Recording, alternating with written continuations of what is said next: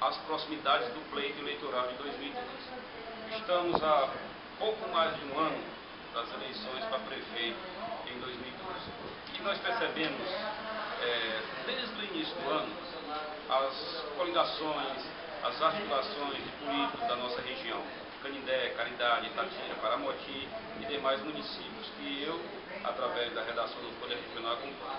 Em Paramoti, nós tivemos aqui, por último, é, no último pleito de 2008, um empate praticamente técnico entre o atual prefeito, que foi reeleito, e o candidato Samuel Bodjan, foi perdeu a eleição com um pouco mais de 200 votos. Esse, pelo que me consta e eu tenho informações extraoficiais, que já está se articulando para que possa ser novamente candidato a prefeito de Paramoti. Sabe-se que existe uma dificuldade até mesmo pela falta de articulação política do mesmo e de união de grupos. Já chegando em Caridade, o atual prefeito, Júlio Tavares, já foi prefeito durante oito anos e agora busca, quem sabe, uma possível reeleição, a gente sente que o mesmo está é, inquieto e aguardando decisões, até porque que nós temos um processo muito delicado, que está conhecido a nível nacional, que é a ficha limpa. E esses prefeitos já foram, dificilmente o gestor público que passou uma prefeitura como secretário não tem problemas na justiça, justiça eleitoral. E esses prefeitos, todos eles que já tiveram aí quatro, oito anos à frente de prefeituras, eles têm esse problema. Nós vemos aí que o Júnior está articulando, está articulando, mas ainda não divulgou totalmente sua possível candidatura.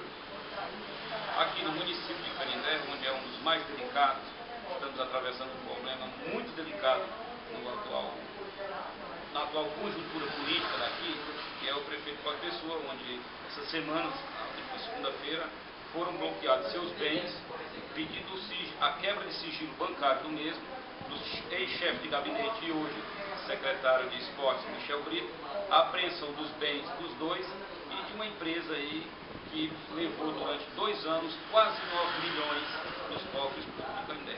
Esse enfrenta uma situação difícil. Nós estamos aqui em Candé, eu que acompanho de perto a política local, vivenciando esse momento triste, triste mesmo, vergonhoso, vergonhoso para o nosso município, para a nossa política, em relação a nomes que poderão suceder ao senhor Cláudio Pessoa, nós temos vários nomes, mas aí entra a ficha limpa.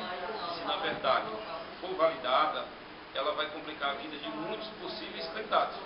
Resta salientar que ele só é condenado, ou melhor, ele só é ficha suja se ele for transitado, condenado.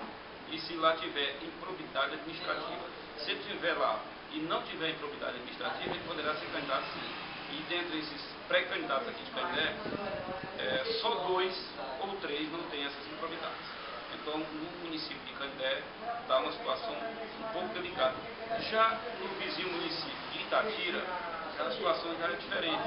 Já tem um grupo do atual prefeito, que é ligado ao ex-prefeito, estão fazendo um trabalho junto, mas chegou aí o ex-prefeito, doutor é, Afonso Machado, que fez uma campanha brilhante para deputado, também com seu filho, apoiando o Demacitó, tirou apenas 200 votos a menos candidato do atual prefeito estava com a máquina na mão. Então está vindo pesado, vindo pesado. Já se vê mais ou menos o cenário político, será o candidato da situação, o prefeito, ou Antônio Almir, se puder ser candidato, porque também tem esse problema na ficha suja, e o Afonso Magno, que é filho do Afonso Machado, com as coligações devidas. E por coincidência, hoje eu estive em Madalena com o seu Wilson Pinho, prefeito, com o Terceirinho, que é o vice-prefeito, e com a Dona Edinha, que é a atual secretária de Cultura e provável candidato.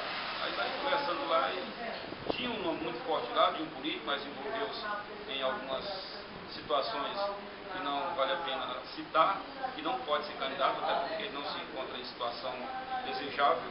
Então o nome que se vê lá no cenário, o seu Wilson não pode ser eleito, ele já está no seu segundo mandato, é o nome da Dona Edinha, que já foi prefeita durante oito anos, e esposa do saudoso senhor Joaquim Santos, que foi prefeito durante oito anos, mãe do atual vice-prefeito, que conversa com ele mesmo, terceiro disse que vai deixar, por enquanto, amadurecer, porque é, é muito jovem.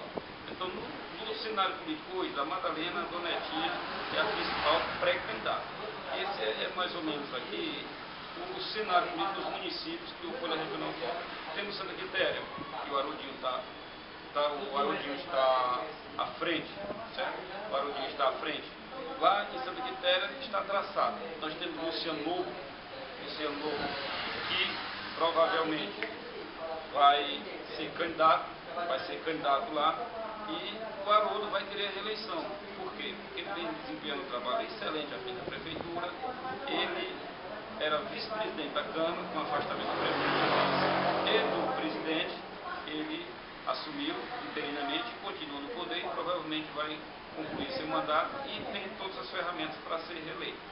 Chegando em General Sampaio, já passando é, para a região do Vale do Curu, General Sampaio nós temos o encerramento da dona Eliane Brasileira, a doutora Eliane Brasileira, que é prefeita e atual presidente da Pressa, com vários nomes ainda, mas não tem nenhuma definição. Já no município Estrela, para a nossa região, que é que fica no Vale do Curu, que vem se destacando muito a gestão do prefeito Edilar Belfraso nos últimos oito anos, entre o desenvolvimento destaca-se a geração de empregos, o apoio que ele dá à educação, à saúde, a atenção que ele tem para com os eleitores. E destaque-se dentro do município nomes, vem surgindo nomes para ser possíveis. Sucessor de Edilar, declaro com, com apoio do mesmo. Nós temos Valmar Bernardo, que é secretário de Ação Social, que é vereador e é, assumiu a, a parte da secretaria, vem se destacando muito dentro do município com as ações ligadas à sua secretaria. Temos também o Barbosa, que é um vereador que vem buscando é, colaborar e cumprir com o seu dever junto ao Legislativo da melhor forma possível e vem se destacando. Então esses dois nomes, Valmar e Barbosa, são os possíveis pré-candidatos aí à eleição de Tegesual. Resta salientar e é importante saber que esses candidatos precisam de formar os devidos grupos e com o apoio dos mesmos e principalmente do prefeito Aguilar para buscar a possível eleição no pleito de 2000. Isso aí é na região a conjuntura política que eu acompanho. Nós temos também Mulungu, que é o Mansueto, que provavelmente será reeleito, Júlio César, aqui em que também está fazendo um trabalho excelente e provavelmente será reeleito. Resta colocar essa importante observação é que nenhum desses candidatos, nenhum desses candidatos são oposição ao governo todos eles, todos eles trabalham junto com o governador Cid Gomes. Você possa ter uma ideia, só para encerrar, o próprio Júnior da Caridade, PSDB, sempre comungou com as ações do Tasso e companhia, mas no último pleito de 2010, ele fez questão de apoiar Cid Gomes, certo? sendo contrário à posição de Tasso e Marcos Carlos, que era o candidato do governo municipal o que o Júnior fez? Ele abdicou de apoiar Marcos Caos e Tasso para apoiar Cid Gomes. E para não contrariar mais ainda, apoiou Tasso no Senado, que teve essa infelicidade de não ser.